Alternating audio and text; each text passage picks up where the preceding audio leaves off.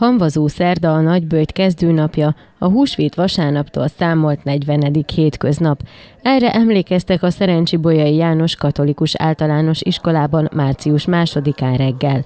A diákokat és a pedagógusokat Gasperné Tilman Edina igazgató köszöntötte, majd beszédében kiemelte, hogy a húsvétot megelőző 40 napos bőjt kezdődik el ezen a napon. A katolikus általános iskola igazgatója felhívta a tanulók figyelmét arra, hogy fontos másokon önzetlenül segíteni, akik ezt igénylik és rászorulnak.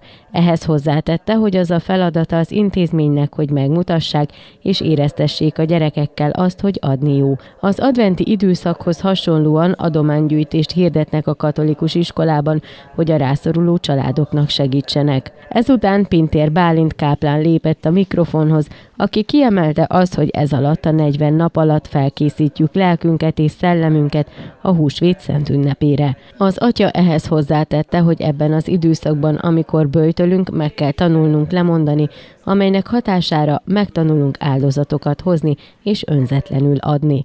A káplán kiemelte azt, hogy ha le tudunk mondani számunkra kedves dolgokról, akkor boldog életünk van, és nem élünk függőségben. Elhangzott az is, hogy a magyar emberek nagyon szeretik a gasztronómiát, így fontos lenne, hogy legyen egy kis lelki szakácskönyvünk, amely a Szentírás. A szentbeszéd után Pintér Bálint atya megszentelte az előző évi szentelt barka hamuját, és ezzel rajzolt keresztet a diákok homlokára, miközben azt mondta, emlékezzél ember, hogy porból lettél, és porrá leszel. Ez azt jelképezi, hogy egyszer minden elmúlik, csak a szeretet nem.